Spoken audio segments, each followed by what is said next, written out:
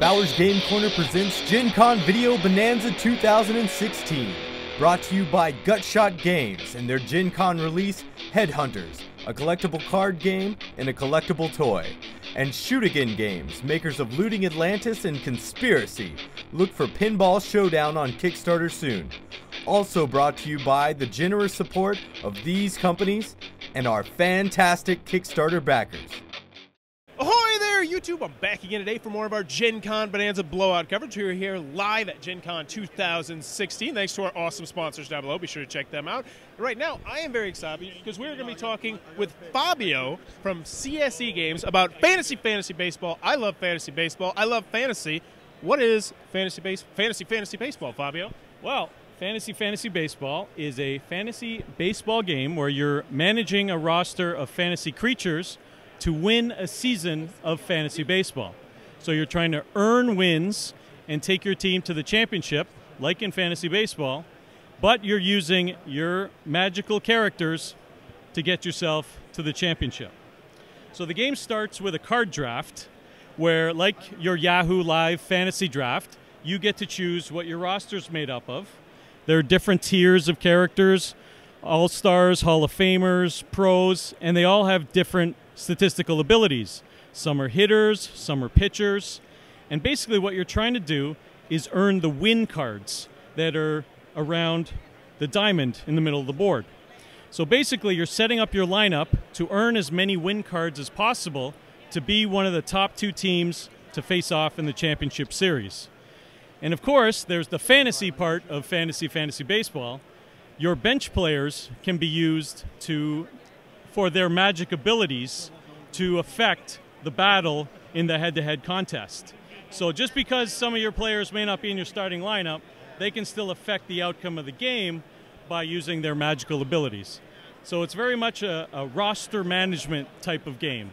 Uh, a bit of a you know, kind of deck building style, but it's your roster. It's your roster of fantasy creatures, which is essentially a baseball team.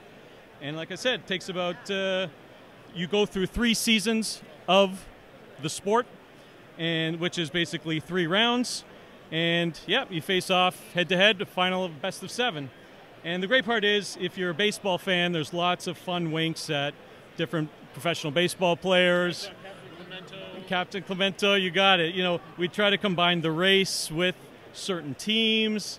Uh, even we have winks at different baseball cards.